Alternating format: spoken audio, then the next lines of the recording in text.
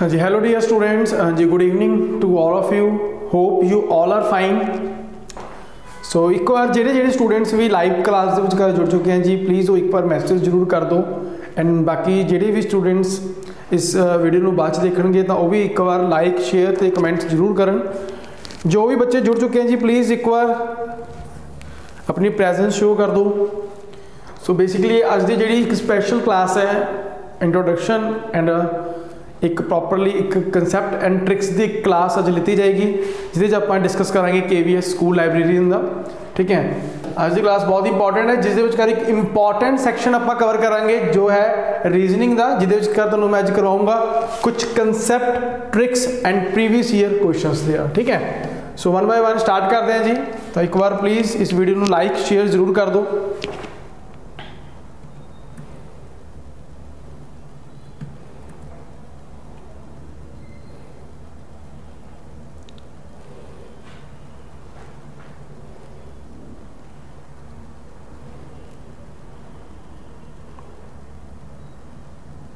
ਸੋ ਜੋ batch 20th of December ਸਾਡਾ KVS school library ਦਾ ਬੈਚ ਸਟਾਰਟ ਹੋਣਾ ਸੀ, ਠੀਕ ਹੈ? ਸੋ ਫਸਟ ਆਫ ਆਲ ਆਪਾਂ ਡਿਸਕਸ ਕਰ ਲੈਨੇ ਆ ਕਿ ਇਸ ਬੈਚ ਦੇ ਵਿੱਚ ਕਰ ਕੀ ਕੀ ਪੜਾਇਆ ਜਾਏਗਾ ਜਾਂ ਪ੍ਰੋਪਰਲੀ ਆਪਾਂ ਥੋੜੀ ਜਿਹੀ ਇਨਫੋਰਮੇਸ਼ਨ ਦੇਖ ਲੈਨੇ ਆ ਦੁਬਾਰਾ ਤੋਂ ਕਿ KVS ਸਕੂਲ ਲਾਇਬ੍ਰੇਰੀ ਦੇ ਵਿੱਚ ਕਰ ਕਿਦਾਂ ਦਾ ਸਿਲੇਬਸ ਹੈ ਜਾਂ ਛੋਟੇ ਛੋਟੇ ਪੁਆਇੰਟਸ ਸਾਰੇ ਆਪਾਂ ਡਿਸਕਸ ਕਰਕੇ ਦੈਨ ਉਸ ਤੋਂ ਬਾਅਦ ਕਲਾਸ ਸਟਾਰਟ ਕਰਦੇ ਹਾਂ ਜੀ, ਜਿਹਦੇ ਵਿੱਚ ਕਰ ਤੁਹਾਨੂੰ ਮੈਂ ਟ੍ਰਿਕਸ ਕਨਸੈਪਟ ਤੇ ਸਾਰਾ ਕੁਝ ਸਮਝਾਉਂਗਾ ਜੀ।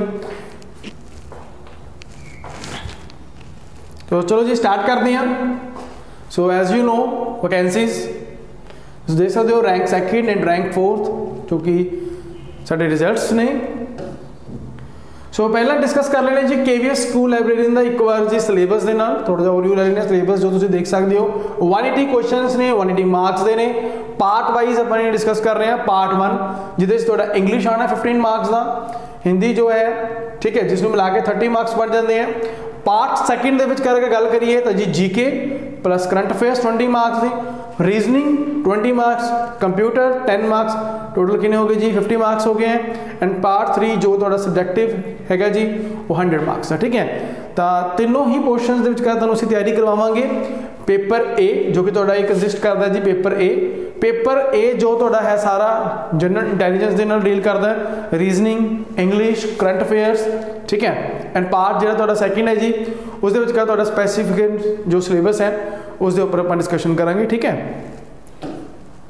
ਸੋ ਜਿਵੇਂ ਕਿ ਤੁਸੀਂ ਦੇਖ ਸਕਦੇ ਹੋ ਜੋ KVS ਦਾ ਸਾਡਾ ਪੇਪਰ A ਹੈ, ਬਾਕੀ ਤੁਹਾਡਾ ਜਿਹੜਾ KVS ਦੇ ਵਿਚਕਾਰ ਜੋ ਵੇਰੀਅਸ ਵੈਕੈਂਸੀਜ਼ ਹੈ, ਉਹਨਾਂ ਸਾਰਿਆਂ ਦੇ ਵਿਚਕਾਰ ਆਲਮੋਸਟ ਜੋ ਸਿਲੇਬਸ ਹੈ, ਉਹ ਸੇਮ ਹੈ। ਰੀਜ਼ਨਿੰਗ ਦਾ ਹਰੇਕ ਹੀ ਪੋਰਸ਼ਨ ਦੇ ਵਿਚਕਾਰ KVS ਦੇ, ਚਾਹੇ TGT ਹੈ, ਚਾਹੇ ਜੋ ਵੀ ਐਗਜ਼ਾਮ ਹੈ, ਉਹਨਾਂ ਸਾਰਿਆਂ ਦੇ ਵਿਚਕਾਰ ਹੀ ਰੀਜ਼ਨਿੰਗ ਦਾ ਪੋਰਸ਼ਨ ਇੱਕ ਇੰਪੋਰਟੈਂਟ ਹੈ, ਪੇਪਰ A ਦਾ। ਤਾਂ ਤੁਹਾਨੂੰ ਸਾਰਾ ਹੀ ਅਸੀਂ ਪ੍ਰਿਪੇਅਰ ਕਰਵਾਵਾਂਗੇ। ਠੀਕ ਹੈ, ਚਾਹੇ ਪ੍ਰਾਇਮਰੀ ਟੀਚਰ ਹੈ ਟੀਜੀਟੀ ਹੈ ਜਾਂ ਲਾਇਬ੍ਰੇਰੀਅਨ ਹੈ, ਤਾਂ ਸਾਰਿਆਂ ਦੇ ਵਿਚਕਾਰ ਆਲਮੋਸਟ ਸਿਲੇਬਸ ਜਿਹੜਾ ਤੁਹਾਨੂੰ ਪਤਾ ਹੀ ਹੈ ਜੀ ਸੇਮ ਹੈ। ਤਾਂ ਤੁਸੀਂ ਦੇਖ ਸਕਦੇ ਹੋ reasoning English Hindi GK and current affairs computer ਠੀਕ ਹੈ? ਸੋ ਇਹ ਤੁਹਾਨੂੰ ਸਾਰਾ ਦਾ ਸਾਰਾ ਅਸੀਂ ਕਰਾਵਾਂਗੇ। ਤੇ ਅੱਜ ਦੀ ਜਿਹੜੀ ਕਲਾਸ ਹੈ, ਉਹ ਇੰਪੋਰਟੈਂਟ ਰਹੇਗੀ, ਕਿਉਂਕਿ ਅੱਜ ਤੁਹਾਨੂੰ ਮੈਂ ਡਿਸਕਸ ਕਰਾਉਂਗਾ ਇਹਦੇ ਵਿਚਕਾਰ ਬਹੁਤ ਹੀ major and important question reasoning ਦਾ, ਠੀਕ ਹੈ? ਉਸ ਤੋਂ ਇਲਾਵਾ ਸਟੂਡੈਂਟਸ ਗੱਲ ਕਰਦੇ ਆ ਅੱਗੇ। ਤਾਂ ਇਸ ਦੇ ਵਿਚਕਾਰ ਤੁਹਾਨੂੰ ਇਸ ਬੈਚ ਦੇ ਵਿਚਕਾਰ ਪ੍ਰੋਪਰਲੀ ਲਾਈਵ ਕਲਾਸਿਸ ਮਿਲਣਗੀਆਂ ਰਿਕਾਰਡਡ ਵੀਡੀਓਜ਼ ਮਿਲਣਗੀਆਂ ਐਂਡ ਪੀਡੀਐਫ ਨੋਟਸ ਠੀਕ ਹੈ? ਜੋ ਵੀ ਤੁਹਾਨੂੰ ਟੌਪਿਕ ਕਰਵਾਇਆ ਜਾਏਗਾ ਉਸ ਦੇ ਪ੍ਰੋਪਰਲੀ ਤੁਹਾਨੂੰ ਪੀਡੀਐਫ ਨੋਟਸ ਵੀ ਜਿਹੜੇ ਆ, ਉਹ ਦਿੱਤੇ ਜਾਣਗੇ।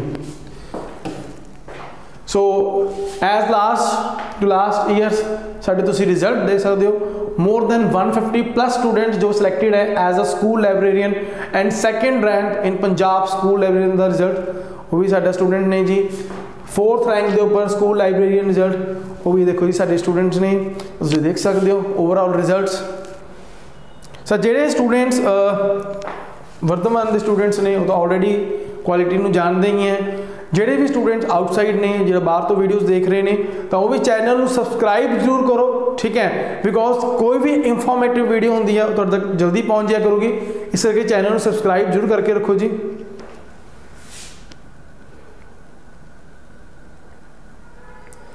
ਹਾਂਜੀ, ਜੋ ਵੀ ਤੁਹਾਡੀ ਵੈਕੈਂਸੀਜ਼ ਬਾਰੇ ਅਗਰ ਤੁਸੀਂ ਪੁੱਛਣਾ ਚਾਹੁੰਦੇ ਹੋ ਜਾਂ ਡਿਟੇਲ ਇਨਫੋਰਮੇਸ਼ਨ ਲੈਣਾ ਚਾਹੁੰਦੇ ਹੋ, ਤਾਂ ਉਹ ਤੁਸੀਂ ਸਾਡੇ ਨਾ ਤੁਹਾਨੂੰ ਮੈਂ ਹੈਲਪਲਾਈਨ ਨੰਬਰ ਦਊਂਗਾ ਜੀ। ਤਾਂ ਉਸ ਹੈਲਪਲਾਈਨ ਨੰਬਰ ਦੇ ਉੱਪਰ ਤੁਸੀਂ ਡਾਇਰੈਕਟਲੀ ਜਿਹੜੀ ਹੈ ਸਾਡੀ ਪ੍ਰੋਪਰਲੀ ਗੱਲ ਕਰ ਸਕਦੇ ਹੋ। ਪੂਰੀ ਤੁਸੀਂ ਕੋਈ ਵੀ ਇਨਫੋਰਮੇਸ਼ਨ ਤੁਸੀਂ ਲੈ ਸਕਦੇ ਹੋ, ਠੀਕ ਹੈ? ਬਟ ਜਿਹੜੀ ਅੱਜ ਦੀ ਬੇਸਿਕਲੀ ਕਲਾਸ ਹੈ, ਉਹ ਸੋਰੀ ਆਪਣੀ ਇੰਟਰੋਡਕਸ਼ਨ ਐਂਡ ਜਸਟ ਉਸ ਦੇ ਉੱਪਰ ਹੈ, ਠੀਕ ਹੈ? ਫੋਕਸ ਉੱਪਰ। ਤਾਂ ਮੇਨ ਅੱਜ ਆਪਾਂ ਇੰਟਰੋਡਕਸ਼ਨ ਐਂਡ ਇੱਕ ਕਨਸੈਪਟ ਕਲਾਸ ਲੈ ਕੇ ਆਏ ਹਾਂ ਜੀ, ਠੀਕ ਹੈ? ਸੋ ਅੱਜ ਦੀ ਕਲਾਸ ਆਪਾਂ ਇਹ ਗੱਲ ਕਰਾਂਗੇ। ਬਾਕੀ ਤੁਹਾਡੀ ਕੋਈ ਵੀ ਜੇ ਇਨਫੋਰਮੇਸ਼ਨ ਹੈ, ਤਾਂ ਸਾਡਾ ਹੈਲਪਲਾਈਨ ਨੰਬਰ ਹੈ। ਉਸ ਹੈਲਪਲਾਈਨ ਪਰ ਤੁਸੀਂ ਕਾਲ ਕਰਕੇ ਸਾਰੀ ਜਿਹੜੀ ਡਿਟੇਲ ਇਨਫੋਰਮੇਸ਼ਨ ਹੈ, ਕੋਈ ਤੁਸੀਂ ਸਕੂਲ ਲਾਇਬ੍ਰੇਰੀ ਬਾਰੇ ਪੁੱਛਣਾ ਚਾਹੁੰਦੇ ਹੋ, ਠੀਕ ਹੈ? ਉਹ ਸਾਰੀ ਇਨਫੋਰਮੇਸ਼ਨ ਜਾ ਕੇ ਤੁਸੀਂ ਉਸ ਤੇ ਲੈ ਸਕਦੇ ਹੋ, ਠੀਕ ਹੈ? ਸੋ ਇੱਕ ਵਾਰ ਆਪਾਂ ਗੱਲ ਕਰ ਲੈਂਦੇ ਹਾਂ ਐਲੀਜੀਬਿਲਟੀ ਐਂਡ ਏਜ ਦੀ। ਤੁਸੀਂ ਦੇਖ ਸਕਦੇ ਹੋ ਕੁਆਲੀਫਿਕੇਸ਼ਨ ਤੁਹਾਡੀ ਦਿੱਤੀ ਹੋਈ ਹੈ ਜੀ। ਏਜ ਜੋ ਹੈ 35 ਇਅਰਸ ਹੈ। ਬਾਕੀ ਤੁਹਾਨੂੰ ਰਿਲੈਕਸੇਸ਼ਨ ਵੀ ਹੈ ਐਸਸੀ ਐਸਟੀ ਓਬੀਸੀ ਤਾਂ ਮੈਂ ਛੋਟੀ ਛੋਟੀ ਬੇਸਿਕ ਜੀ ਇਨਫੋਰਮੇਸ਼ਨ ਜਿਹੜੀ ਹੈ ਡਿਸਕਸ ਕਰ ਰਹੇ ਹਾਂ ਜੀ, ਠੀਕ ਹੈ? ਤਾਂ ਆ ਤੁਸੀਂ ਦੇਖ ਸਕਦੇ ਹੋ। ਸੋ ਨਾਓ ਬੇਸਿਕਲੀ ਇਹਦਾ ਰਹੀ ਜੀ ਛੋਟੀ ਛੋਟੀ ਤੁਹਾਡੀ ਇਨਫੋਰਮੇਸ਼ਨ ਜੋ ਕਿ ਬੈਚ ਦੇ ਬਾਰੇ ਹੈ, ਜਾਂ ਤੁਹਾਡਾ ਜਿਹੜਾ ਕੇਵੀਐਸ ਸਕੂਲ ਲਾਇਬ੍ਰੇਰੀਅਨ ਦਾ ਐਗਜ਼ਾਮ ਹੈ, ਉਸ ਦੇ ਬਾਰੇ ਇਨਫੋਰਮੇਸ਼ਨ ਹੈ। ਸੋ ਹੁਣ ਆਪਾਂ ਸਟਾਰਟ ਕਰਾਂਗੇ ਜੀ ਬੇਸਿਕਲੀ ਇੱਕ ਇੰਟਰੋ ਕਲਾਸ ਜਿਹਦੇ ਵਿੱਚ ਕਰ ਤੁਹਾਨੂੰ ਮੈਂ ਰੀਜ਼ਨਿੰਗ ਦੇ ਪੋਰਸ਼ਨ ਦੇ ਵਿੱਚੋਂ ਕੁਝ ਕਨਸੈਪਟਸ ਕਰਾਉਂਗਾ ਜੀ ਕੁਝ ਟ੍ਰਿਕਸ ਕਰਾਉਂਗਾ ਠੀਕ ਹੈ ਐਂਡ ਕੁਝ ਪ੍ਰੀਵੀਅਸ ਈਅਰ ਕੁਐਸਚਨਸ ਜਿਹੜੀਆਂ ਸੋਲਵ ਕਰਾਵਾਂਗਾ ਠੀਕ ਹੈ ਸੋ ਮੇਨਲੀ ਆਪਣਾ ਫੋਕਸ ਜਿਹੜਾ ਅੱਜ ਹੈ ਉਹ ਇੱਕ ਕਲਾਸ ਦੇ ਉੱਪਰ ਹੈ ਠੀਕ ਹੈ ਸੋ ਐਂਡ ਤੱਕ ਇਸ ਕਲਾਸ ਦੇ ਨਾਲ ਤੁਸੀਂ ਜੁੜੇ ਰਹਿਣਾ ਕਿਉਂਕਿ ਅੱਜ ਦੀ ਜਿਹੜੀ ਕਲਾਸ ਹੈ ਬਹੁਤ ਇੰਪੋਰਟੈਂਟ ਹੈ ਕਿ ਤੁਹਾਨੂੰ ਮੈਂ ਇਹਦੇ ਵਿੱਚ ਕਰ ਇੱਕ ਬਹੁਤ ਹੀ ਇੰਪੋਰਟੈਂਟ ਟੌਪਿਕ ਜਿਹੜਾ ਡਿਸਕਸ ਕਰਾਉਂਗਾ ਜੋ ਕਿ ਹੈ ਆਰਡਰ ਐਂਡ ਰੈਂਕਿੰਗ ਦਾ ਠੀਕ ਹੈ ਸੋ ਆਪਾਂ ਸਕੂਲ ਲਾਇਬ੍ਰੇਰੀਅਨ ਦੇ ਬਾਰੇ ਬੇਸਿਕ ਇਨਫੋਰਮੇਸ਼ਨ ਦੇਖ ਚੁੱਕੇ ਹਾਂ ਜੀ ਕਿ ਏਜ ਰਿਲੈਕਸੇਸ਼ਨ ਹੈ ਠੀਕ ਹੈ ਕਿਹੜੇ ਕਿਹੜੇ ਕੰਟੈਂਟ ਚੋਂ ਤੁਹਾਡਾ ਪੇਪਰ ਆਉਣਾ ਹੈ, ਠੀਕ ਹੈ? ਜਾਂ ਕੀ ਕੀ ਤੁਹਾਡੇ, ਮਤਲਬ, ਠੀਕ ਹੈ, ਕਿਹੜੇ ਕਿਹੜੇ ਪੋਰਸ਼ਨ ਹੈ? ਰੀਜ਼ਨਿੰਗ ਹੋ ਗਿਆ ਜੀਕੇ ਹੋ ਗਿਆ ਰਾਈਟ ਠੀਕ ਹੈ ਨਾ? ਤਾਂ ਉਹ ਬੇਸਿਕ ਇਨਫੋਰਮੇਸ਼ਨ ਜਿਹੜੀ ਆਪਾਂ ਦੇਖ ਚੁੱਕੇ ਹਾਂ ਜੀ। ਸੋ ਇੱਕ ਚੀਜ਼ ਤੁਹਾਨੂੰ ਮੈਂ ਹੋਰ ਕਲੀਅਰ ਕਰ ਦਿੰਦਾ ਕਿ ਜਿਹੜਾ ਇਹਦਾ ਬੈਚ ਸਟਾਰਟ ਹੋਣਾ ਸੀਗਾ 20th ਆਫ ਦਸੰਬਰ ਦਾ ਸੀਗਾ। ਪਰ ਰੀਸੈਂਟਲੀ ਅਸੀਂ ਥੋੜਾ ਜਿਹਾ ਹਲੇ ਇਹਨੂੰ ਪੋਸਟਪੋਨ ਕੀਤਾ ਸੋ ਜਿਹੜਾ ਇਹਦਾ ਬੈਚ ਨਿਊ ਬੈਚ ਸਟਾਰਟ ਹੋਏਗਾ, ਉਹ 4th ਆਫ ਜਨਵਰੀ ਤੋਂ ਸਟਾਰਟ ਹੋਏਗਾ, ਠੀਕ ਹੈ ਜੀ? ਜਿਹੜਾ ਨਿਊ ਬੈਚ ਅਸੀਂ ਸਟਾਰਟ ਕਰਾਂਗੇ, ਉਹ ਹੈ 4th ਆਫ ਜਨਵਰੀ ਤੋਂ। ਸੋ ਲਾਸਟ ਤੱਕ ਹਰੇ ਕਲਾਸ ਨੂੰ ਲੀਵ ਨਾ ਕਰਨਾ ਜੀ, ਕਿਉਂਕਿ ਅੱਜ ਦੀ ਕਲਾਸ ਬਹੁਤ ਇੰਪੋਰਟੈਂਟ ਹੈ। ਤਾਂ 4 ਜਨਵਰੀ ਤੋਂ ਇੱਕ ਕਲਾਸ ਜਿਹੜੀ ਹੈ ਸਟਾਰਟ ਹੋਏਗੀ। ਬਾਕੀ ਇਹ ਹੈਲਪਲਾਈਨ ਨੰਬਰਸ ਦਿੱਤੇ ਹੋਏ ਆ। ਇਹਨਾਂ ਹੈਲਪਲਾਈਨ ਨੰਬਰਸ ਦੇ ਉੱਪਰ ਤੁਸੀਂ ਕੋਈ ਵੀ ਕਾਲ ਕਰਕੇ ਕੋਈ ਵੀ ਇਨਫੋਰਮੇਸ਼ਨ ਜਿਹੜੀ ਹੈ ਲੈ ਸਕਦੇ ਹੋ। 90413 48720 ਇਹਨਾਂ ਨੰਬਰਸ ਦੇ ਉੱਪਰ ਤੁਸੀਂ ਕਾਲ ਕਰਕੇ ਅਗਰ ਤੁਹਾਨੂੰ ਕੋਈ ਵੀ ਡਿਟੇਲ ਇਨਫੋਰਮੇਸ਼ਨ ਚਾਹੀਦੀ ਹੈ ਤੁਸੀਂ ਇਸ 'ਚ ਪੁੱਛ ਸਕਦੇ ਹੋ। ਠੀਕ ਹੈ ਜੀ? ਹਾਂਜੀ। ਸੋ ਬੇਸਿਕਲੀ ਅੱਜ ਦੀ ਕਲਾਸ ਦੇ ਵਿਚਕਾਰ ਆਪਾਂ ਕਰਨਾ ਇੱਕ ਕਨਸੈਪਟ ਠੀਕ ਹੈ, ਜੋ ਕਿ ਰੀਜ਼ਨਿੰਗ ਦੇ ਉੱਪਰ ਹੈ। ਇਵਨ ਤੁਹਾਨੂੰ ਮੈਂ ਦੱਸ ਦੇਣਾ ਜੀ, ਫਿਰ ਦੁਬਾਰਾ ਫੇਰ ਆਈ ਵਿਲ ਐਕਸਪਲੇਨ ਕਿ ਰੀਜ਼ਨਿੰਗ ਦਾ ਪੋਰਸ਼ਨ ਜਿਹੜਾ ਹੈ ਕੇਵੀਐਸ ਦੇ ਵਿੱਚ ਹਰੇਕ ਹੀ ਜਿਹੜਾ ਐਗਜ਼ਾਮ ਤੁਹਾਡਾ ਬੰਦਾ ਚਾਹੇ ਸਕੂਲ ਲਾਇਬ੍ਰੇਰੀਅਨ ਦਾ ਚਾਹੇ ਉਹ ਟੀਜੀਟੀ ਹੈ ਜਾਂ ਜੋ ਵੀ ਹੈ, ਉਹਨਾਂ ਸਾਰਿਆਂ ਦੇ ਵਿਚਕਾਰ ਰੀਜ਼ਨਿੰਗ ਦਾ ਇੱਕ ਇੰਪੋਰਟੈਂਟ ਰੋਲ ਹੈ, ਠੀਕ ਹੈ। ਸੋ ਇਹ ਚੀਜ਼ ਨੂੰ ਧਿਆਨ ਰੱਖਿਓ ਇੰਪੋਰਟੈਂਟ ਰੋਲ ਪਲੇ ਕਰਨਾ ਹੈ ਰੀਜ਼ਨਿੰਗ ਨੇ। ਤਾਂ ਅੱਜ ਦੀ ਜਿਹੜੀ ਕਲਾਸ ਹੈ ਉਹ ਸਾਰਿਆਂ ਦੇ ਲਈ ਹੀ ਬੈਨੀਫੀਸ਼ੀਅਲ ਕਲਾਸ ਹੈ।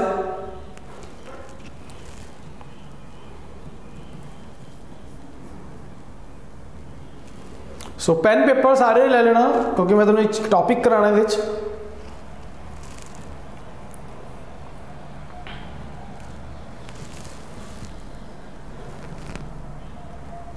ਸੋ ਆਪਾਂ ਟੌਪਿਕ ਅੱਜ ਸਟਾਰਟ ਕਰਾਂਗੇ ਜਿਹਦੇ ਵਿੱਚ।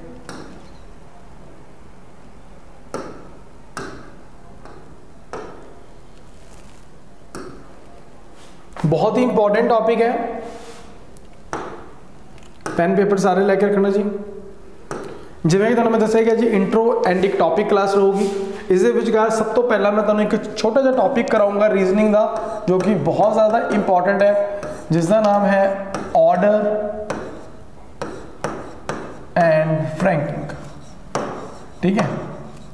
ਚਾਹੇ ਤੁਸੀਂ ਇਹਨੂੰ ਕਲਾ ਰੈਂਕਿੰਗ ਕਹਿ ਦਿਓ ਚਾਹੇ ਤੁਸੀਂ ਇਹਨੂੰ ਆਰਡਰ ਐਂਡ ਰੈਂਕਿੰਗ ਕਹਿ ਦਿਓ, ਗੱਲ ਸੇਮ ਹੀ ਹੈ ਜੀ, ਕੋਈ ਫ਼ਰਕ ਨਹੀਂ ਹੈ, ਠੀਕ ਹੈ?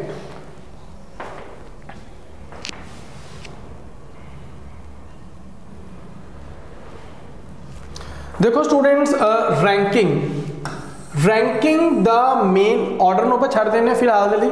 ਸਭ ਤੋਂ ਪਹਿਲਾਂ ਰੈਂਕਿੰਗਸ ਦੇ ਨਾਲ ਕਨਸੈਪਟ ਸਮਝਦੇ ਹਾਂ। What is the meaning of ranking ranking ਦਾ ਮਤਲਬ ਹੁੰਦਾ ਹੈ ਕਿਸੇ ਵੀ ਚੀਜ਼ ਦੀ ਪੋਜੀਸ਼ਨ ਨੂੰ ਫਾਈਂਡ ਆਊਟ ਕਰਨਾ। ਠੀਕ ਹੈ? ਕਿਸੇ ਵੀ ਚੀਜ਼ ਦੀ ਪੋਜੀਸ਼ਨਿੰਗ ਕਰਨੀ ਇਟਸ ਕਾਲਡ ਅ ਰੈਂਕਿੰਗ ਠੀਕ ਹੈ? ਜਿਵੇਂ ਆਪਾਂ ਕਹਿ ਦਿੰਦੇ ਨੇ ਜੀ first rank second rank fourth rank so ਇਹ ਸਾਰੇ ਕੀ ਹੈ? ਰੈਂਕਿੰਗ ਹੀ ਹੈ, ਠੀਕ ਹੈ?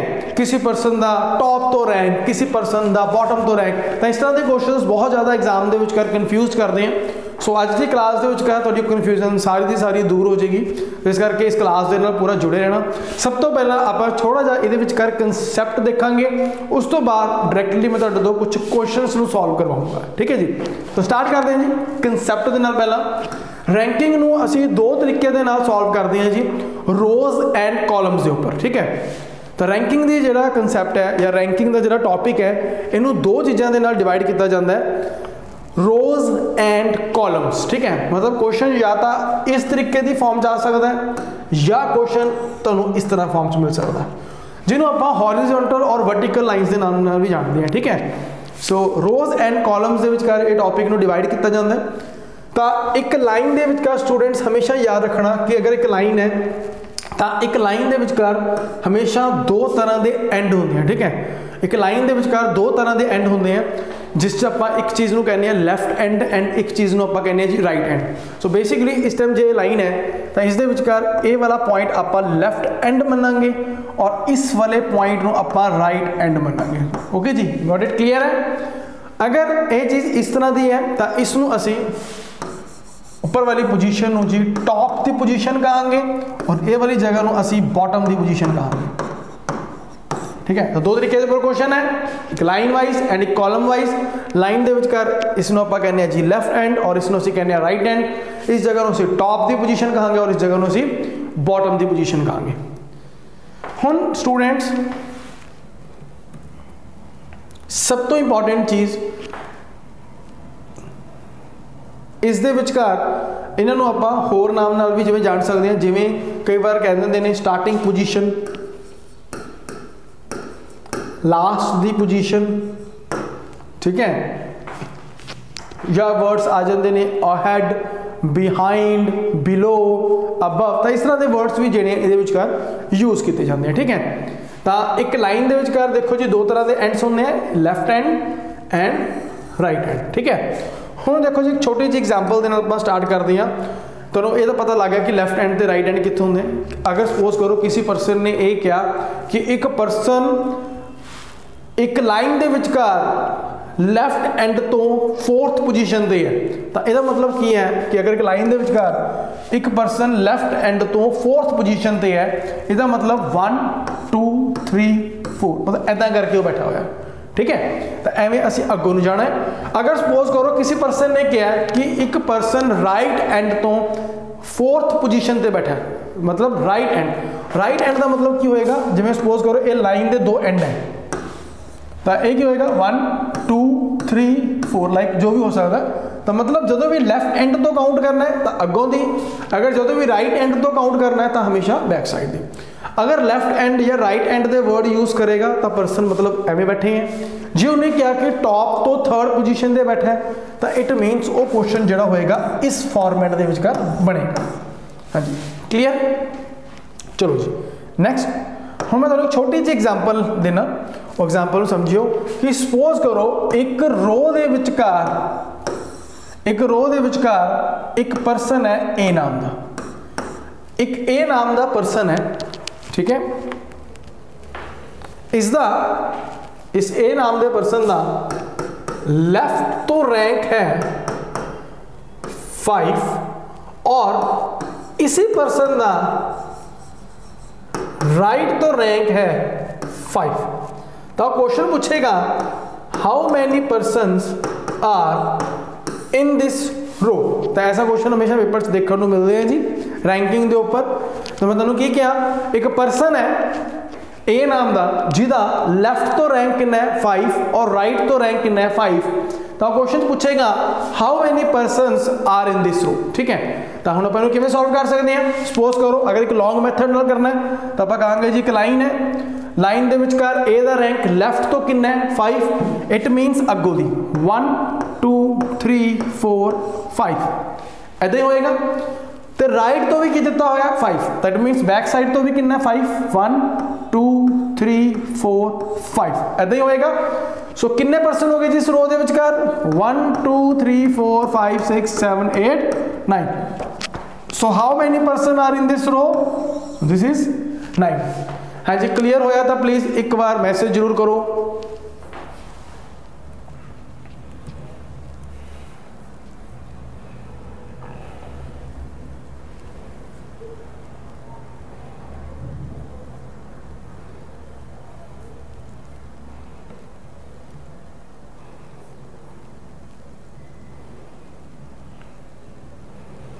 ਅਗਰ ਤੁਸੀਂ ਕਲਾਸ ਦੇ ਐਂਡ ਪ੍ਰੋਪਰ ਐਂਡ ਤੱਕ ਜੁੜੇ ਰਹੋਗੇ ਜੀ, ਤਾਂ ਤੁਹਾਨੂੰ ਬਹੁਤ ਸਾਰੇ ਅੱਛੇ ਕੁਐਸਚਨਸ ਅੱਜ ਦੀ ਕਲਾਸ 'ਚ ਕਰਵਾਉਂਗਾ।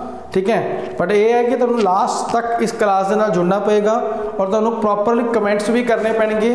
ਠੀਕ ਹੈ? ਫਿਰ ਤੁਹਾਡੇ ਲਈ ਮੈਂ ਬਹੁਤ ਸਾਰੇ ਅੱਛੇ ਕੁਐਸਚਨਸ ਜਿਹੜੇ ਬਣਾ ਕੇ ਲੈ ਕੇ ਆਇਆ, ਜੋ ਕਿ ਤੁਹਾਡੇ ਲਈ ਬਹੁਤ ਜ਼ਿਆਦਾ ਇਨਫੋਰਮੇਟਿਵ ਨੇ।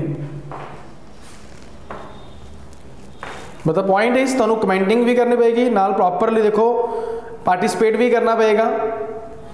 Participate in the sense just ਤੁਸੀਂ ਦੇਖੋ, ਬੱਚੇ ਮੈਸੇਜ ਹੀ ਕਰਨਾ ਹੈ nothing else but I sure ਕਿ ਅੱਜ ਦੀ ਕਲਾਸ ਤੁਹਾਨੂੰ ਮਜ਼ਾ ਵੀ ਆਊਗਾ ਤੇ ਤੁਹਾਨੂੰ ਨਵੀਂ ਚੀਜ਼ ਸਿੱਖਣ ਨੂੰ ਵੀ ਮਿਲੇਗੀ ਡੈਫੀਨੇਟਲੀ ਠੀਕ ਹੈ? ਅਗਰ ਤੁਸੀਂ ਤਿਆਰੀ ਕਰ ਰਹੇ ਹੋ ਐਗਜ਼ਾਮ ਦੀ, ਤਾਂ ਡੈਫੀਨੇਟਲੀ ਇਸ ਤੋਂ ਕੋਈ ਨਾ ਕੋਈ ਇੱਕ ਕੁਐਸਚਨ ਤੁਹਾਨੂੰ ਜ਼ਰੂਰ ਦੇਖਣ ਨੂੰ ਪੇਪਰ 'ਚ ਵੀ ਮਿਲੇਗਾ। ਹਾਂਜੀ ਆਈ ਥਿੰਕ ਤੁਹਾਨੂੰ ਸਮਝ ਆਇਆ? ਹੁਣ ਨੈਕਸਟ ਇਸੇ ਦੇ ਉੱਪਰ ਮੈਂ ਕਨਸੈਪਟ ਲੈ ਰਿਹਾ।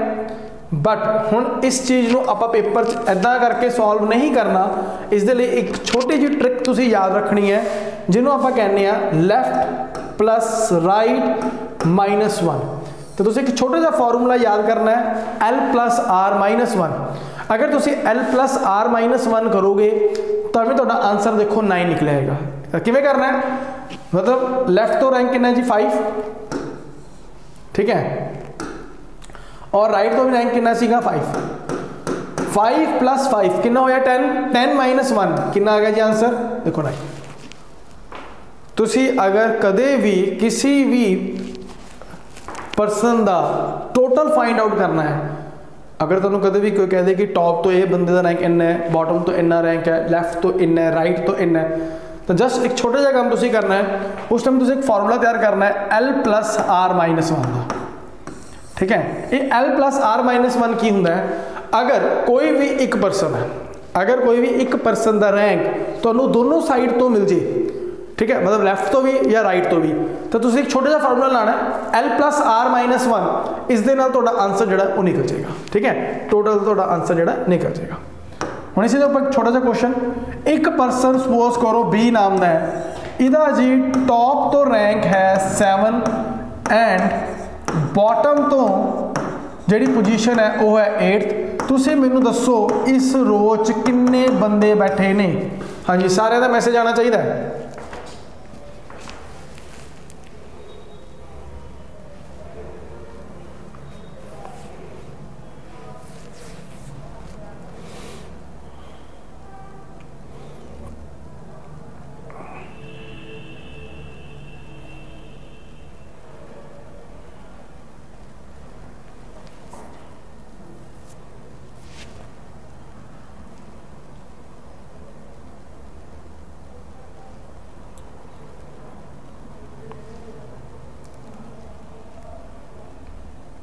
ਯੈਸ ਬਾਕੀ ਜਾਣੇ ਪਲੀਜ਼ ਬਹੁਤ ਲੇਟ ਹੋ ਰਿਪਲਾਈ ਕਰ ਰਹੇ ਤੁਸੀਂ ਫਟਾਫਟ ਤੋਂ ਰਿਪਲਾਈ ਕਰੋ ਜੀ ਸਾਰੇ ਜਾਣੇ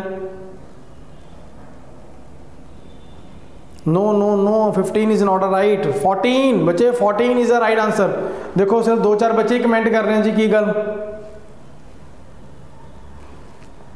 ਅਗਰ ਤੁਸੀਂ ਕਲਾਸ ਨੂੰ ਵਾਚ ਕਰ ਰਹੇ ਹੋ ਤਾਂ ਐਟਲੀਸਟ ਤੁਹਾਨੂੰ ਰਿਪਲਾਈ ਜ਼ਰੂਰ ਕਰਨੇ ਚਾਹੀਦੇ ਆ ਜੀ 14 14 इज द राइट आंसर ਤਾਂ ਔਰ ਇਹ ਵੀ ਸੇਮ ਚੀਜ਼ ਹੈ ਅਗਰ ਇੱਕ ਪਰਸਨ ਦਾ ਰੈਂਕ ਉੱਪਰੋਂ ਦੀ 7 ਹੈ ਔਰ ਨੀਚੋਂ ਦੀ 8 ਹੈ ਚਾਹੇ L R ਹੋਵੇ ਚਾਹੇ ਟੌਪ ਬਾਟਮ ਹੋਵੇ ਕਨਸੈਪਟ ਇੱਕੋ ਹੀ ਚੱਲੂਗਾ ਤੇ ਤੁਸੀਂ ਉਰੇ ਕਰਨਾ ਕੀ ਸੀਗਾ ਟੌਪ ਪਲੱਸ ਬਾਟਮ -1 8 7 ਜੋ ਵੀ ਹੈ ਠੀਕ ਹੈ ਜੀ ਇੱਧਰ ਚਾਹੇ 8 ਕਰ ਲਓ ਹੈ ਨਾ ਇੱਧਰ 7 ਹੈ 7 8 15 15 1 ਕਿੰਨਾ ਆ ਗਿਆ 14 ਸੋ ਇਹਦਾ ਆਨਸਰ ਕੀ ਆਣਾ ਸੀਗਾ ਜੀ 14 ਬਸ ਇੰਨਾ ਕੰਮ ਸੀ ਠੀਕ ਹੈ 14 ਇਜ਼ ਦਾ ਰਾਈਟ ਆਨਸਰ ਚਲੋ ਜੀ ਨੈਕਸਟ ਇੱਕ ਹੋਰ ਕੁਐਸਚਨ ਮੇਰਾ ਹੁਣ ਦੇਖੋ ਇਹ ਕੁਐਸਚਨ ਦਾ ਸੀਗਾ ਆਪਣਾ ਟੋਟਲ ਕੱਢਣ ਦੇ ਲਈ ਹੁਣ ਇੱਕ ਹੋਰ ਕਨਸੈਪਟ ਇਹਦੇ ਵਿੱਚ ਯੂਜ਼ ਹੁੰਦਾ ਹੈ ਸਪੋਜ਼ ਕਰੋ ਇੱਕ ਰੋ ਦੇ ਵਿਚਕਾਰ ਟੋਟਲ ਪਰਸਨ ਹੈ 40 ਠੀਕ ਹੈ? 40 ਪਰਸਨਸ ਦੀ ਇੱਕ ਰੋ ਹੈ ਜਿਸ ਦੇ ਵਿਚਕਾਰ A ਦਾ ਰੈਂਕ ਲੈਫਟ ਸਾਈਡ ਤੋਂ ਦਿੱਤਾ ਹੋਇਆ ਹੈ 15 ਔਰ ਤੁਸੀਂ A ਦਾ ਰੈਂਕ ਰਾਈਟ ਸਾਈਡ ਤੋਂ ਫਾਈਂਡ ਆਊਟ ਕਰਨਾ ਹੈ। ਠੀਕ ਹੈ ਜੀ? ਆ ਕੁਐਸਚਨ ਹੈ। ਲਾਸਟ ਕੁਐਸਚਨ ਚ ਅਸੀਂ ਕੀ ਕੀਤਾ ਸੀਗਾ? ਲਾਸਟ ਕੁਐਸਚਨ ਦੇ ਵਿਚਕਾਰ ਅਸੀਂ ਟੋਟਲ ਨੂੰ ਫਾਈਂਡ ਆਊਟ ਕੀਤਾ ਸੀ। ਟੋਟਲ ਫਾਈਂਡ ਆਊਟ ਕਰਨ ਦੇ ਲਈ ਅਸੀਂ ਕੀ ਕਰਦੇ ਸੀਗੇ? L R 1 ਜਾਂ ਟੌਪ ਬਾਟਮ -1 ਕਰ ਸਕਦੇ ਆ ਆਨਸਰ ਨਿਕਲਿਆ ਹੋਊਗਾ। ਬਟ ਅਗਰ ਸਪੋਜ਼ ਕਰੋ, ਹੁਣ ਇਸ ਕੁਐਸਚਨ 'ਚ ਥੋੜਾ ਜਿਹਾ ਚੇਂਜ ਹੈ। ਪਰਸਨ ਉਹੀ A ਨਾਮ ਦਾ ਬਟ ਇਸ ਵਾਰ ਟੋਟਲ ਦਿੱਤਾ ਹੋਇਆ ਇੱਕ ਸਾਈਡ ਤੋਂ ਰੈਂਕ ਗਿਵਨ ਹੈ। ਦੂਜੀ ਸਾਈਡ ਤੋਂ ਰੈਂਕ ਆਪਾਂ ਨੇ ਕੀ ਕਰਨਾ? ਕੱਢਣਾ। ਤਾਂ ਐਸੇ ਕੇਸ 'ਚ ਕੀ ਕਰਨਾ ਬੱਚੇ? ਇੱਕ ਵਾਰ ਆਪਾਂ ਮੈਥਡ ਨਾਲ ਸਮਝਦੇ ਹਾਂ ਕਿ ਸਪੋਜ਼ ਕਰੋ ਇੱਕ ਲਾਈਨ ਹੈ। ਇੱਕ ਲਾਈਨ ਦੇ ਵਿਚਕਾਰ ਕਿੰਨੇ ਬੰਦੇ ਬੈਠੇ ਹੋਏ ਆ ਜੀ? 40 40 ਪਰਸਨਸ ਬੈਠੇ ਹੋਏ ਆ। A ਦਾ ਰੈਂਕ ਲੈਫਟ ਸਾਈਡ ਤੋਂ ਕਿੰਨਾ ਦਿੱਤਾ ਹੋਇਆ? 15 ਲੈਫਟ ਦਾ ਮਤਲਬ ਕੀ ਹੋਏਗਾ? ਫਰੋਮ ਸਟਾਰਟਿੰਗ ਪੋਜੀਸ਼ਨ ਤਾਂ ਮਤਲਬ ਇਸ ਪੋਜੀਸ਼ਨ ਤੋਂ ਇਸ ਪਰਸਨ ਦਾ ਰੈਂਕ ਕਿੰਨਾ ਹੈ? 15 ਐਗਜ਼ਾਮੀਨਰ ਦਾ ਕੁਐਸਚਨ ਹੈ ਕਿ ਬੈਕ ਸਾਈਡ ਤੋਂ ਕਿੰਨਾ ਹੋਏਗਾ? ਇਹੀ ਚੀਜ਼ ਹੈ ਨਾ, ਕਿ ਬੈਕ ਸਾਈਡ ਤੋਂ ਕਿੰਨਾ ਹੋਏਗਾ? ਹੁਣ ਤੁਸੀਂ ਗੱਲ ਸਮਝੋ। 40 ਬੰਦਿਆਂ ਦੀ ਰੋ ਹੈ।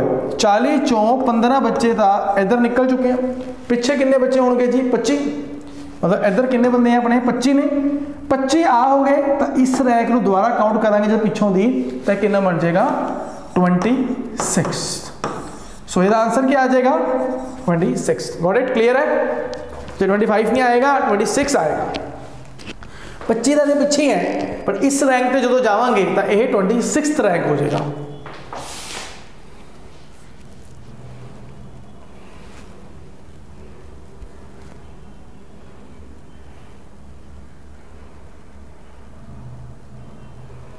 ਸੋ ਐਸੇ ਕੁਐਸਚਨ ਦੇ ਲਈ ਆਪਾਂ ਛੋਟੀ ਜਿਹੀ ਟ੍ਰਿਕ ਤਿਆਰ ਕੀਤੀ ਹੋਈ ਹੈ ਅਗਰ ਤੁਹਾਨੂੰ ਐਦਾਂ ਦਾ ਕੁਐਸਚਨ ਜਦੋਂ ਵੀ ਮਿਲੇ ਤੁਸੀਂ ਕਰਨਾ ਕੀ ਹੈ ਟੋਟਲ ਚੋਂ given rank given rank minus ਕਰਕੇ ਪਲੱਸ 1 ਕਰਨਾ ਹੈ ਇਹ ਛੋਟਾ ਟ੍ਰਿਕ ਇਹਦੀ ਯਾਦ ਰੱਖਿਓ ਕੀ ਕਰਨਾ ਹੈ ਟੋਟਲ ਚੋਂ ਦਿੱਤਾ ਹੋਇਆ ਰੈਂਕ ਮਾਈਨਸ ਕਰਕੇ ਪਲੱਸ 1 ਕਰਨਾ ਹੈ ਮਤਲਬ ਉਹਦੇ ਟੋਟਲ ਕਿੰਨਾ ਸੀਗਾ 40 40 ਚੋਂ 15 ਪਹਿਲਾਂ ਮਾਈਨਸ ਕਰਨੇ ਆ ਜਦੋਂ 40 ਚੋਂ 15 ਮਾਈਨਸ ਕਰੋਗੇ, ਕੀ ਆ ਜਾਊਗਾ? 25 25 ਚ ਕੀ ਕਰਨਾ ਹੈ? ਇੱਕ ਹੋਰ ਐਡ ਕਰਨਾ ਸੀ, ਤਾਂ ਦੇਖੋ ਆ ਬਣ ਗਿਆ ਤੁਹਾਡਾ ਆਨਸਰ ਦੈਟਸ ਇਟ ਆ ਦੋ ਟ੍ਰਿਕਸ ਨੂੰ ਬਹੁਤ ਯਾਦ ਰੱਖਣਾ ਹੈ।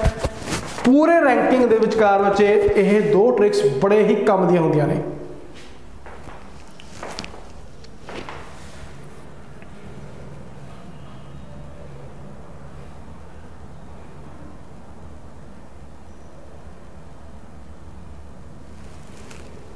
ਹਾਂਜੀ ਡਨ ਸਮਝ ਆਇਆ? 25 ਵਾਲਿਆਂ ਦਾ ਆਨਸਰ ਬਹੁਤ ਹੀ ਗਲਤ ਆ ਰਿਹਾ ਹੈ। 26 ਦਾ ਆਨਸਰ ਸੀਗਾ।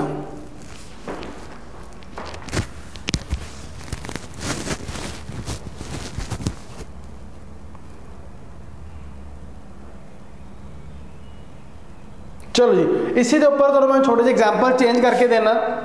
ਠੀਕ ਹੈ, ਹੁਣ ਸਮਝਿਓ। ਐਗਜ਼ਾਮਪਲ ਇਹ ਹੈ ਕਿ ਇੱਕ ਰੋ ਟੋਟਲ ਬੰਦੇ, ਮੈਂ ਤੁਹਾਨੂੰ ਦੇ ਰਿਹਾ ਜੀ 30 ਤਾਂ ਇੱਕ ਪਰਸਨ ਹੈ P ਨਾਮ ਦਾ, ਇਹਦਾ ਲੈਫਟ ਤੋਂ ਰੈਂਕ ਹੈਗਾ 13 ਠੀਕ ਹੈ? 13ਵੀਂ ਪੋਜੀਸ਼ਨ ਤੇ ਹੈ। ਤੁਸੀਂ ਇਸ P ਦਾ ਰੈਂਕ ਮੈਨੂੰ ਰਾਈਟ ਸਾਈਡ ਤੋਂ ਦੱਸੋ ਹੁਣ ਕੀ ਆਏਗਾ।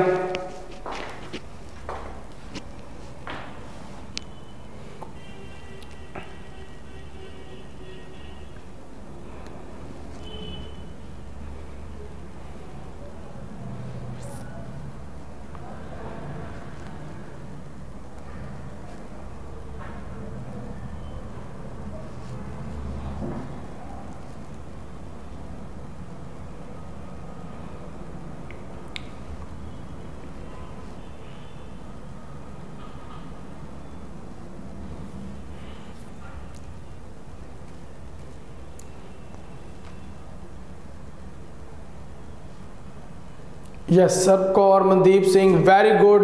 Satveer ji, very good. 18 is the right answer, very good. 18, yes.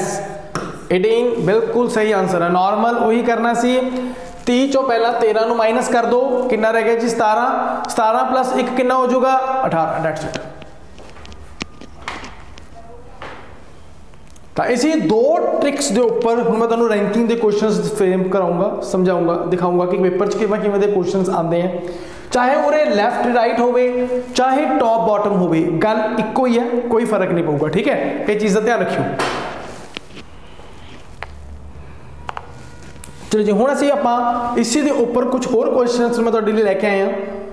ਜਿਵੇਂ ਕਿ ਤੁਹਾਨੂੰ ਮੈਂ ਕਿਹਾ ਸੀਗਾ, ਅੱਜ ਦੀ ਕਲਾਸ ਤੁਹਾਨੂੰ ਮੈਂ ਸਿਰਫ ਛੋਟੇ ਛੋਟੇ ਕੁਐਸਚਨਸ ਡਿਸਕਸ ਕਰਾਉਂਗਾ ਇੱਕ ਕਨਸੈਪਟ ਸਮਝਾਉਂਗਾ ਠੀਕ ਹੈ? ਜਿਸ ਨਾਲ ਤੁਹਾਨੂੰ ਮਜ਼ਾ ਆਏਗਾ। ਸੋ ਫਸਟ ਕੁਐਸਚਨ ਤੁਹਾਡੀ ਸਕਰੀਨ ਦੇ ਉੱਪਰ ਆ ਚੁੱਕਾ ਹੈ। ਤੁਸੀਂ ਮੈਨੂੰ ਦੱਸੋ, ਇਹਦਾ ਆਨਸਰ ਕੀ ਆਊਗਾ?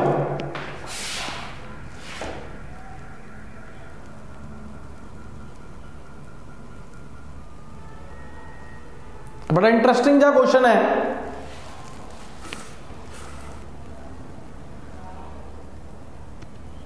ਤੁਸੀਂ ਕਾਫੀ ਐਗਜ਼ਾਮਸ ਕੇਵੀਐਸ ਦੇ ਜਿਹੜੇ ਕਾਫੀ ਐਗਜ਼ਾਮ ਦੇ ਸ਼ਿਫਟਸ ਹੁੰਦੀਆਂ ਨੇ, ਉਹਨਾਂ 'ਚ ਇਹ ਕੁਐਸਚਨਸ ਤੁਹਾਨੂੰ ਦੇਖਣ ਨੂੰ ਮੋਸਟਲੀ ਮਿਲ ਹੀ ਜਾਂਦੇ ਨੇ ਇਹਦੇ ਨਾਲ ਦੇ। ਤੁਸੀਂ ਦੇਖ ਸਕਦੇ ਹੋ ਇਸ ਤਰ੍ਹਾਂ ਦੇ ਕੁਐਸਚਨਸ ਨੂੰ।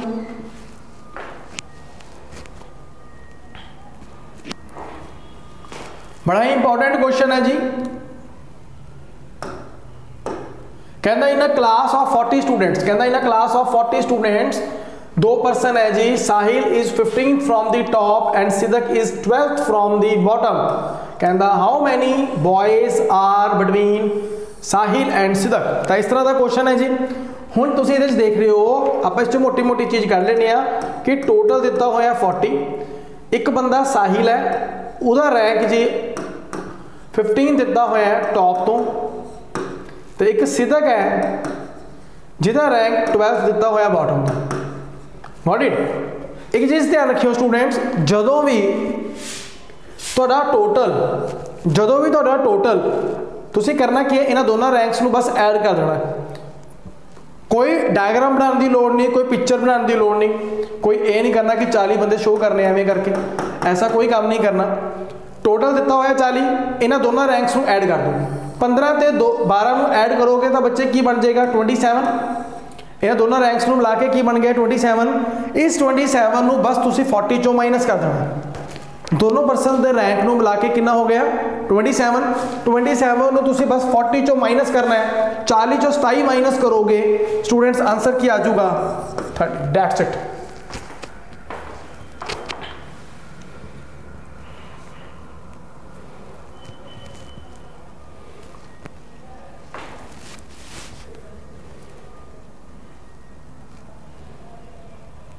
ਹਾਂਜੀ ਕਲੀਅਰ ਹੋਇਆ ਬੱਚੇ ਤਾਂ ਪਲੀਜ਼ ਇੱਕ ਵਾਰ ਮੈਸੇਜ ਜ਼ਰੂਰ ਕਰਿਆ ਕਰੋ।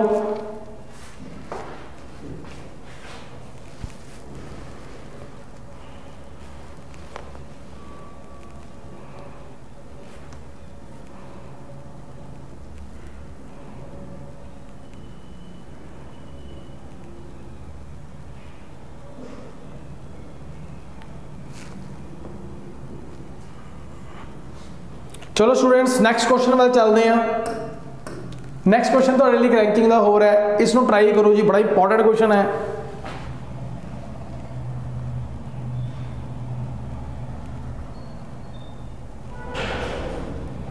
ਦੇਖੋ, ਮੈਂ ਤੁਹਾਡੇ ਲਈ ਸਪੈਸ਼ਲੀ ਕੁਐਸਚਨਸ ਡਿਜ਼ਾਈਨ ਕਰਕੇ ਲੈ ਕੇ ਆਇਆ। ਮੈਂ ਤੁਹਾਨੂੰ ਪਹਿਲਾਂ ਵੀ ਕਿਹਾ ਸੀ, ਅੱਜ ਦੀ ਕਲਾਸ ਤੁਹਾਡੇ ਲਈ ਇੰਪੋਰਟੈਂਟ ਹੀ ਹੋਏਗੀ।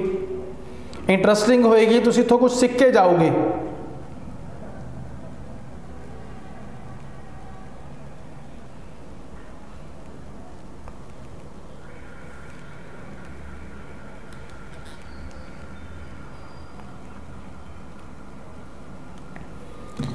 ਸਟੂਡੈਂਟ ਨੈਕਸਟ ਕੁਐਸਚਨ ਦੇ ਵਿੱਚ ਕਰ ਕੀ ਹੈ?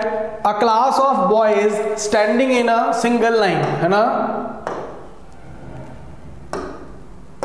ਇੱਕ ਕਲਾਸ ਦੇ ਵਿਚਕਾਰ ਬੱਚੇ ਜਿਹੜੇ ਲਾਈਨ 'ਚ ਖੜੇ ਆ। One girl is 19th in order from both the ends.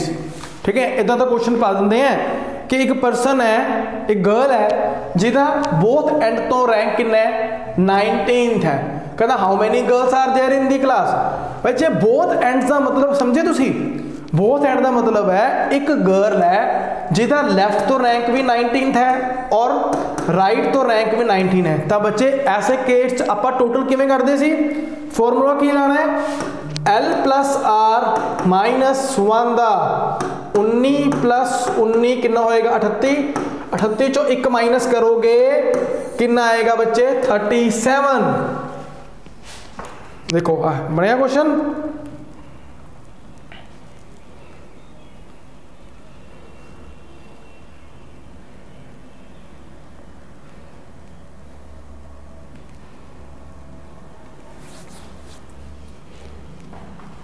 Next समझ आया ना बोथ द एंड्स का मतलब पता ਕੀ ਹੈ ਕਿ ਦੋਨੋਂ ਸਾਈਡ ਤੋਂ ਤਾਂ 19 19 ਨਹੀਂ ਕਰਨਾ 19 19 ਮਾਈਨਸ 1 ਵੀ ਤਾਂ ਕਰਨਾ ਸੀਗਾ ਨਾ चलो जी नेक्स्ट क्वेश्चन नंबर थर्ड बहुत ही इंटरेस्टिंग क्वेश्चन है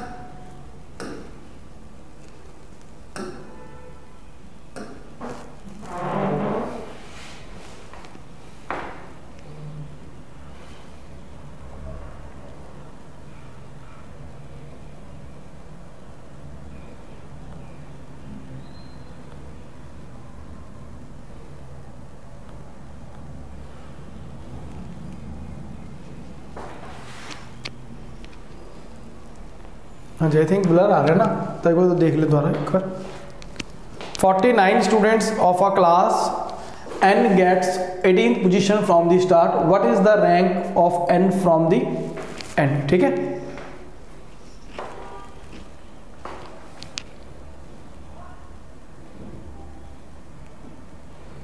तो ऐसे क्वेश्चन में किमें समझाया? सी की करना है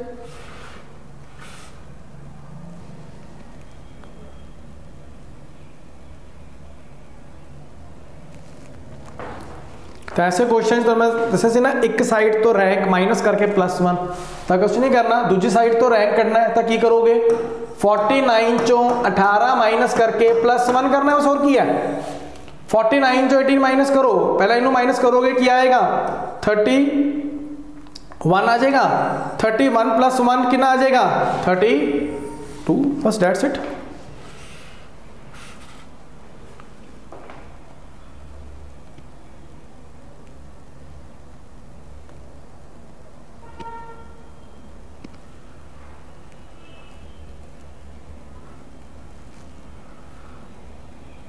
हाँ जी गॉट इट समझ आया 32 डायरेक्टली देखो वही वाला क्वेश्चन आ गया ना कि टोटल देता है ਇੱਕ ਸਾਈਡ ਤੋਂ ਰੈਂਕ ਕਿੰਨਾ 18 ਹੈ ਦੂਜੀ ਸਾਈਡ ਤੋਂ ਕੱਢਿਆ ਹੋਇਆ ਹੈ ਪੁੱਛਿਆ ਤਾਂ ਕਰਨਾ ਕੀ ਹੈ ਟੋਟਲ ਦਿੱਤਾ ਹੋਵੇ ਟੋਟਲ ਚੋਂ ਇੱਕ ਰੈਂਕ ਨੂੰ ਦਿੱਤੇ ਹੋਏ ਰੈਂਕ ਨੂੰ ਮਾਈਨਸ ਪਲੱਸ 1 ਕਰ ਦੇਖੋ ਸੇਮ ਟੈਕਨੀਕ ਯੂਜ਼ ਹੋਣ ਲੱਗੀ ਨਾ ਬਾਰ-ਬਾਰ तो नेक्स्ट क्वेश्चन के ऊपर चल रहे हैं दसो जी का आंसर दसो की आएगा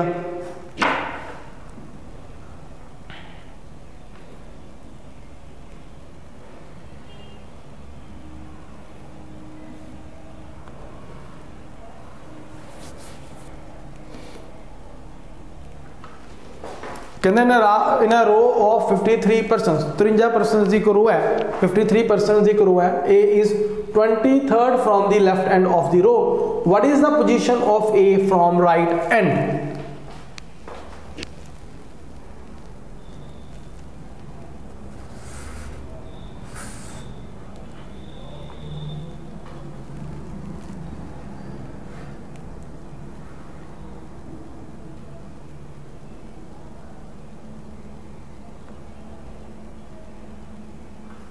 ਨਵਨੀਤ ਜੀ, ਜੋ ਵੀ ਫੀਸ ਸਟਰਕਚਰ ਹੈ, ਉਹ ਤੁਸੀਂ ਸਾਡੇ ਹੈਲਪਲਾਈਨ ਨੰਬਰ ਦੇ ਉੱਪਰ ਕਾਲ ਕਰਕੇ ਜੀ ਪੁੱਛ ਸਕਦੇ ਹੋ। ਠੀਕ ਹੈ? ਕੋਈ ਸੀਟਸ ਵਗੈਰਾ, ਸਭ ਕੁਝ ਤੁਸੀਂ ਪੁੱਛ ਸਕਦੇ ਹੋ ਉੱਥੋਂ। ਰਾਈਟ ਇਸ ਕੁਐਸਚਨ ਕੀ ਸਿੰਪਲ ਕਰਨਾ ਸੀ? 53 ਦਿੱਤਾ ਹੋਇਆ। ਹੈ 53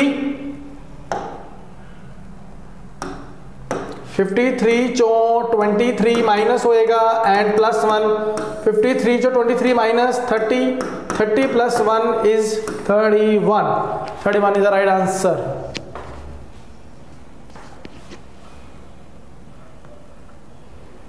ਚਲੋ ਜੀ ਨੈਕਸਟ ਕੁਐਸਚਨ ਦੇ ਵੱਲ ਚੱਲਦੇ ਹੋਏ ਚੱਲਦੇ ਹਾਂ ਦੱਸੋ ਜੀ ਦਾ ਆਨਸਰ ਕੀ ਆਏਗਾ ਚਲੋ ਇਸ ਤੋਂ ਇਲਾਵਾ ਪਹਿਲਾਂ ਕਿ ਕੁਐਸਚਨ ਕਰੋ ਇਹ ਕੁਐਸਚਨ ਬੜਾ ਇੰਪੋਰਟੈਂਟ ਹੈ ਥੋੜਾ ਕਨਫਿਊਜ਼ਿੰਗ ਵਾਲਾ ਪਾਰਟ ਵਾਲਾ ਕੁਐਸਚਨ ਹੈ ਇਹਨੂੰ ਟਰਾਈ ਕਰੋ 6 ਨੰਬਰ ਕੁਐਸਚਨ ਨੂੰ ठीक है? सिक्स वाला आप ट्राई करना, ठीक है? इस क्वेश्चन का।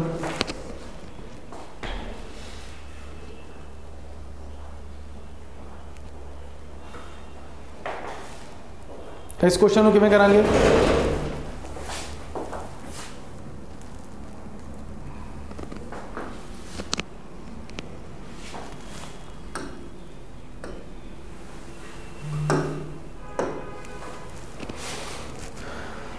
ਦੇਖੋ ਥੋੜਾ ਜਿਹਾ ਇਹਦੇ ਵਿਚਕਾਰ ਆਪਾਂ ਨੂੰ ਥੋੜਾ ਜਿਹਾ ਕਨਸੈਪਟ ਯੂਜ਼ ਕਰਨਾ ਪੈਣਾ। ਇਸ ਦੇ ਵਿਚਕਾਰ in a row of 74 girls ਠੀਕ ਹੈ? ਟੋਟਲ ਪਰਸਨਸ ਆਪਾਂ ਨੂੰ ਇਹਨੇ ਦਿੱਤੇ ਹੋਏ ਆ ਕਿ ਇੱਕ ਰੋ ਦੇ ਵਿਚਕਾਰ 74 ਗਰਲਸ ਹੈ, ਠੀਕ ਹੈ? ਇੱਥੇ ਦੋ ਪਰਸਨ ਰੈਂਕ ਐਡ ਹੋ ਗਏ, ਇੱਕ ਤਾਂ ਸ਼ਵੇਤਾ ਐਂਡ ਇੱਕ ਪਲਕ। ਹੈ ਕੁਝ ਵੀ ਨਹੀਂ ਹੈ। ਦੋ ਪਰਸਨ ਬਸ ਐਡ ਹੋ ਗਏ, ਸ਼ਵੇਤਾ ਐਂਡ ਪਲਕ। ਤਾਂ ਇਹਨੂੰ ਆਪਾਂ ਕਿਵੇਂ ਥੋੜਾ ਜਿਹਾ ਆਬਜ਼ਰਵ ਕਰੀਏ ਕਿ ਇੱਕ ਰੋ ਦੇ ਵਿਚਕਾਰ ਦੇਖੋ ਆਪਾਂ ਕਹਿ ਦਿੰਦੇ ਆ ਕਿ 74 ਗਰਲਸ ਹਨ ਠੀਕ ਹੈ। Shweta is 27 from left hand ਇੱਕ ਸ਼ਵੇਤਾ ਨਾਮ ਦਾ ਪਰਸਨ ਹੈ ਜੋ ਕਿ ਅੱਗੋਂ ਦੀ ਹੈ 27ਵੀਂ ਪੋਜੀਸ਼ਨ ਤੇ। ਐਵੇਂ ਹੋਏਗਾ 27 ਪੋਜੀਸ਼ਨ ਤੇ। ਪਲਕ ਜਿਹੜੀ ਹੈ ਨਾ, ਉਹ ਇਸ ਤੋਂ 7th ਰਾਈਟ ਤੇ ਬੈਠੀ ਹੈ ਸ਼ਵੇਤਾ ਤੋਂ। 7th ਰਾਈਟ ਦਾ ਮਤਲਬ ਕੀ ਹੋ ਜਾਏਗਾ? ਇਸ ਤੋਂ 7 ਪੋਜੀਸ਼ਨ ਇੱਧਰ ਨੂੰ। ਅਗਰ ਇਸ ਤੋਂ 7 ਪੋਜੀਸ਼ਨ ਅੱਗੇ ਲੈ ਕੇ ਜਾਵਾਂਗੇ ਤਾਂ ਪਲਕ ਉਰੇ ਹੋਏਗੀ। ਤਾਂ ਪਲਕ ਦਾ ਰੈਂਕ ਆਪਾਂ ਕੀ ਕਰਾਂਗੇ? ਅੱਗੋਂ ਦੀ ਜੋੜ ਲਾਂਗੇ। 27 7 ਕਿੰਨਾ ਹੋ ਜਾਏਗਾ? ਤਾਂ ਪਲਕ ਦਾ ਰੈਂਕ ਅੱਗੋਂ ਕਿੰਨਾ ਹੋ ਜਾਏਗਾ ਜੀ? 34 ਐਗਜ਼ਾਮੀਨਰ ਪੁੱਛ ਰਹੇ ਹੈ what is the Palak position from the right hand Palak the position back side ਤੋਂ ਕਿੰਨੀ ਹੋਏਗੀ? ਹੁਣ ਨਾਰਮਲੀ ਆਪਾਂ ਕੀ ਕਰਾਂਗੇ? 74 34 1 74 ਚੋਂ 34 ਗਏ, ਕਿੰਨਾ ਰਹਿ ਗਿਆ? 40 40 ਚ ਪਲੱਸ 1 ਕਰਾਂਗੇ ਤਾਂ 41 ਜਿਹੜਾ ਬੱਚੇ, ਇਹਦਾ ਆਨਸਰ ਆਏਗਾ। ਦੇਖੋ ਤੁਸੀਂ ਗੜਬੜ ਕਰ ਰਹੇ ਹੋ ਇਹਦੇ ਚ। 41 ਆਣਾ ਸੀ।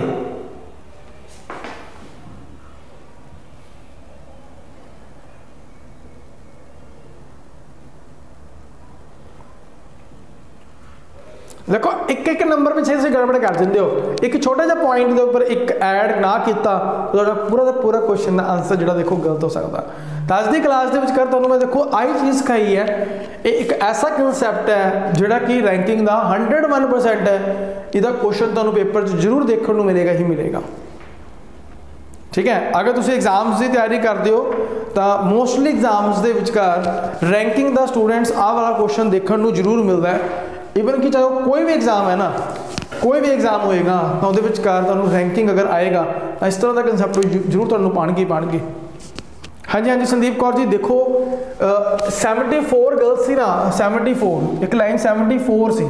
ਤਾਂ ਸ਼ਵੇਤਾ ਦਾ ਰੈਂਕ ਅੱਗੋਂ ਦੀ ਸੀਗਾ ਜੀ 27 ਪਲਕ ਜਿਹੜੀ ਸੀ 7th ਰਾਈਟ ਬੈਠੀ ਸੀ ਸ਼ਵੇਤਾ ਤੋਂ, ਅੱਗੇ 7 ਰੈਂਕ ਅੱਗੇ ਸੀ। ਤਾਂ 27 7 ਕਿੰਨਾ ਹੋ ਗਿਆ ਜੀ 34 ਪਲਕ ਦਾ ਰੈਂਕ ਅੱਗੋਂ ਆ ਗਿਆ ਜੀ 34 34 ਪਲਕ ਦਾ ਰੈਂਕ ਪਿੱਛੋਂ ਦੀ ਕੱਢਣਾ ਸੀ। ਤਾਂ ਪਿੱਛੋਂ ਦੇ ਕੱਢਣ ਲਈ ਕੀ ਕਰਨਾ ਸੀ? ਟੋਟਲ ਚੋਂ 34 ਨੂੰ ਮਾਈਨਸ ਕਰਕੇ ਪਲੱਸ 1 74 ਚੋਂ 34 ਮਾਈਨਸ ਕਰੋਗੇ ਪਲੱਸ 1 ਕਰੋਗੇ। 41 ਜਿਹੜਾ ਜੀ ਆਨਸਰ ਆ ਜਾਊਗਾ। ਹਾਂਜੀ ਸਟੂਡੈਂਟਸ ਹੋਪਫੁਲੀ ਤੁਹਾਨੂੰ ਜਿਹੜੀ ਅੱਜ ਦੀ ਕਲਾਸ ਹੈ, ਉਹ ਇੰਟਰਸਟਿੰਗ ਸਮਝ ਆਈ ਹੋਣੀ। ਠੀਕ ਹੈ? ਅਗਰ ਤੁਸੀਂ ਕੋਈ ਵੀ ਚੀਜ਼ ਪੁੱਛਣਾ ਚਾਹੁੰਦੇ ਹੋ, ਤਾਂ ਸਾਡੇ ਹੈਲਪਲਾਈਨ ਨੰਬਰਸ ਦੇ ਉੱਪਰ ਤੁਸੀਂ ਕਾਲ ਕਰਕੇ ਉਹ ਇਨਫੋਰਮੇਸ਼ਨ ਲੈ ਸਕਦੇ ਹੋ। ਨੰਬਰ ਮੈਂ ਤੁਹਾਨੂੰ ਫਿਰ ਦੱਸ ਦਿੰਦਾ। ਠੀਕ ਹੈ? 90413 48720 ਦੇ ਉੱਪਰ ਤੁਸੀਂ ਕੋਈ ਵੀ ਕਾਲ ਕਰਕੇ ਤੁਸੀਂ ਕੋਈ ਵੀ ਇਨਫੋਰਮੇਸ਼ਨ ਜਿਹੜੀ ਹੈ ਲੈ ਸਕਦੇ ਹੋ। ਤੁਸੀਂ ਕਾਲ ਕਰੋ। ਤੁਸੀਂ ਫੀਸ ਸਟਰਕਚਰ ਬਾਰੇ ਜਾਣਨਾ ਚਾਹੁੰਦੇ ਹੋ, ਤੁਸੀਂ ਸੀਟਸ ਬਾਰੇ ਪੁੱਛਣਾ ਚਾਹੁੰਦੇ ਹੋ। ਅਗਰ ਤੁਹਾਡੇ ਮਾਈਂਡ 'ਚ ਹੋਰ ਵੀ ਕੋਈ ਕੁਐਸਚਨ ਹੈ ਕੇਵੀਐਸ ਦੇ ਰਿਗਾਰਡਿੰਗ ਤਾਂ ਤੁਸੀਂ ਡਾਇਰੈਕਟਲੀ ਸਾਡੇ ਨਾਲ ਜਿਹੜੀ ਹੈ ਇਹਨਾਂ ਨੰਬਰਸ ਦੇ ਉੱਪਰ ਕਾਲ ਕਰਕੇ ਮੈਸੇਜ ਕਰਕੇ ਗੱਲ ਕਰ ਸਕਦੇ ਹੋ। ਬੇਸਿਕਲੀ ਜੋ ਅੱਜ ਦੀ ਕਲਾਸ ਦਾ ਆਪਣਾ ਏਜੰਡਾ ਸੀਗਾ, ਉਹ ਮੈਂ ਤੁਹਾਨੂੰ ਸ਼ੋਅ ਕਰਨਾ ਚਾਹੁੰਦਾ ਸੀਗਾ ਜਾਂ ਆਪਾਂ ਕਰਨਾ ਚਾਹੁੰਦੇ ਸੀਗੇ ਕਿ ਜੋ ਇੱਕ ਰੀਜ਼ਨਿੰਗ ਦਾ ਕੰਟੈਂਟ ਜਾਂ ਕੰਪੋਨੈਂਟ ਜਿਹੜਾ ਇਹਦੇ ਚ ਆਣਾ ਹੈ, ਤਾਂ ਇਸ ਤਰ੍ਹਾਂ ਦਾ ਕੰਟੈਂਟ ਜਾਂ ਇਸ ਤਰ੍ਹਾਂ ਦੇ ਅੱਛੇ ਕੁਐਸਚਨਸ ਜਿਹੜਾ ਹੈ, ਉਹ ਮੈਂ ਤੁਹਾਡੇ ਨਾਲ ਡਿਸਕਸ ਕਰੂੰਗਾ। ਜੇ ਅਗਰ ਕਲਾਸਿਸ ਦੇ ਵਿੱਚ ਕਾ ਤੁਸੀਂ ਇਨਰੋਲਮੈਂਟ ਕਰਵਾਓਗੇ, ਤਾਂ ਆਪਾਂ ਕਨਸੈਪਟ ਦਾ ਸਿੱਖਾਂਗੇ ਸਿੱਖਾਂਗੇ ਇਵਨ ਕਿ ਇਸ ਤਰ੍ਹਾਂ ਦੇ ਕੁਝ ਕੁਐਸਚਨਸ ਵੀ ਜਿਹੜੇ ਆਪਾਂ ਨਾਲ ਨਾਲ ਡਿਸਕਸ ਕਰਾਂਗੇ, ਜੋ ਕਿ ਲਾਸਟ ਐਗਜ਼ਾਮਸ ਦੇ ਵਿਚਕਾਰ ਬਹੁਤ ਜਗ੍ਹਾ ਤੇ ਉੱਪਰ ਪੁੱਛੇ ਗਏ ਹਨ ਠੀਕ ਹੈ? ਸੋ ਆਈ ਹੋਪ ਤੁਹਾਨੂੰ ਕਲਾਸ ਜਿਹੜੀ ਆ ਉਹ ਇੰਟਰਸਟਿੰਗ ਲੱਗੀ ਹੋਣੀ, ਠੀਕ ਹੈ? ਮਜ਼ਾ ਆਇਆ ਹੋਣਾ। ਅਗਰ ਮਜ਼ਾ ਆਇਆ ਤਾਂ ਪਲੀਜ਼ ਜੀ ਇੱਕ ਵਾਰ ਮੈਸੇਜ ਜ਼ਰੂਰ ਕਰੋ, ਅਗਰ ਕੁਝ ਸਿੱਖ ਕੇ ਜਾ ਰਹੇ ਹੋ। ਅਗਰ ਤੁਹਾਨੂੰ ਲੱਗਦਾ ਕਿ ਆਪਾਂ ਕਲਾਸ ਚੋਂ ਕੁਝ ਸਿੱਖਿਆ ਆਈ ਥਿੰਕ ਤੁਹਾਨੂੰ ਮੈਸੇਜ ਜ਼ਰੂਰ ਕਰਨਾ ਚਾਹੀਦਾ ਸਟੂਡੈਂਟ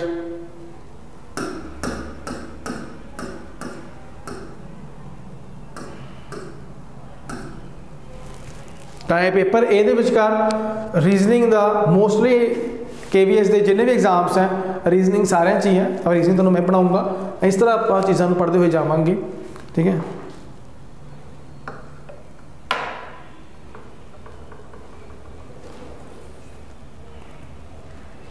ਅਗਰ ਤੁਹਾਨੂੰ ਅੱਛੀ ਲੱਗੀ ਇਹ ਵੀਡੀਓ ਤਾਂ ਪਲੀਜ਼ ਜੇ ਆਪਣੇ ਬਾਕੀ ਫਰੈਂਡਸ ਦੇ ਨਾਲ ਵੀ ਸ਼ੇਅਰ ਜ਼ਰੂਰ ਕਰਿਓ ਕਿ ਹਰ ਬੱਚੇ ਤੱਕ ਇਹ ਇਨਫੋਰਮੇਸ਼ਨ ਜਾਵੇ, ਜੋ ਵੀ ਇਸ ਚੀਜ਼ ਦੀ ਤਿਆਰੀ ਕਰ ਰਿਹਾ ਜਾਂ ਜਿਹੜੇ ਵੀ ਰੀਜ਼ਨਿੰਗ ਸਪੈਸ਼ਲੀ ਰੀਜ਼ਨਿੰਗ ਪੋਰਸ਼ਨ ਦੇ ਲਈ ਤਿਆਰੀ ਕਰਦੇ ਆ, ਤਾਂ ਉਹ ਵੀ ਇਸ ਵੀਡੀਓ ਨੂੰ ਪਲੀਜ਼ ਅੱਗੇ ਜ਼ਰੂਰ ਸ਼ੇਅਰ ਜ਼ਰੂਰ ਕਰਿਓ।